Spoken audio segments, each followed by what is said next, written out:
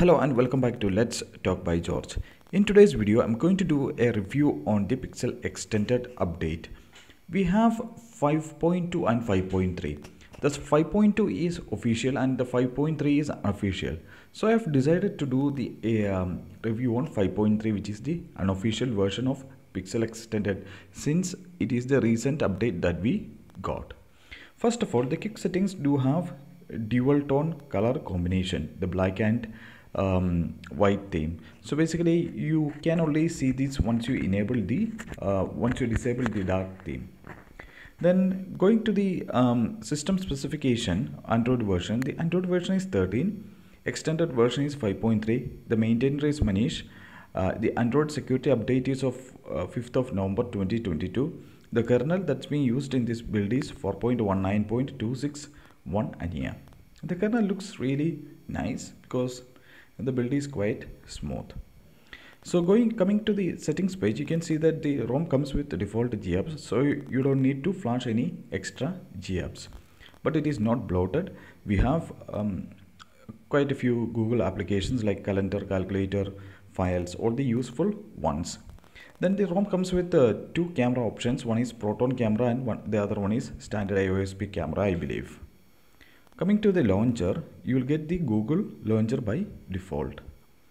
Then going to the settings page, you can expect to have all the um, settings pages stock user interface for Pixel ROMs.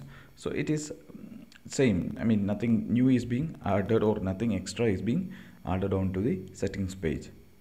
Extensions is where you can find the customization option for ROM. First of all, you will have the network traffic monitor. So basically you can enable it and there is no other option like um, vertical or horizontal layout.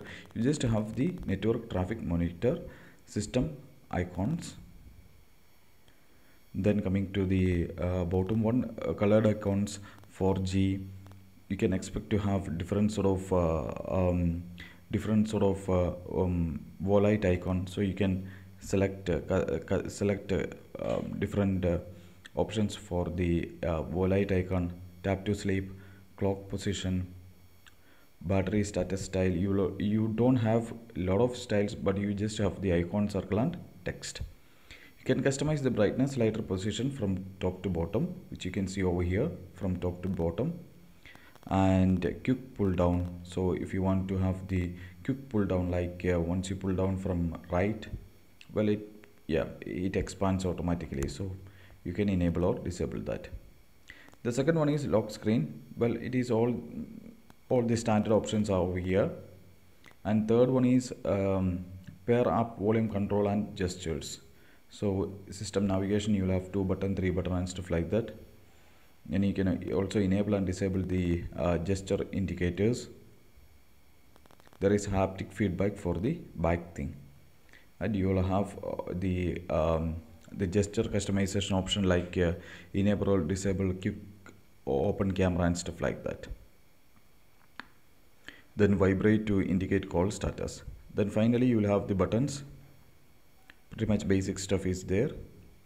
Fingerprint success, success vibration and fingerprint error vibration. So you will have a few customization but that customization is quite useful. Under the sound and vibration you don't have the direct um, sound thing so security um, you'll have face and fingerprint unlock then screen unlock. You can also have quick and uh, quick unlock and scramble layout for the uh, pin.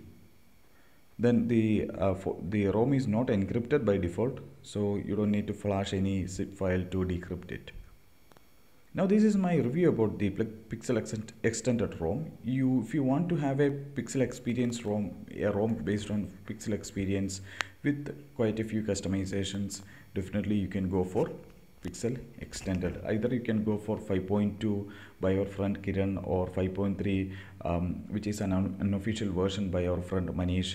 Um, both builds are really smooth and cool. I have used both the builds and both are really amazing once again, I would like to thank Manish for his efforts and for compiling uh, the ROM for our beloved Juice or Chime devices. Um, and also for you, to you for watching my ROM review and please make sure to subscribe to my channel and do not forget to press the bell icon. Thank you.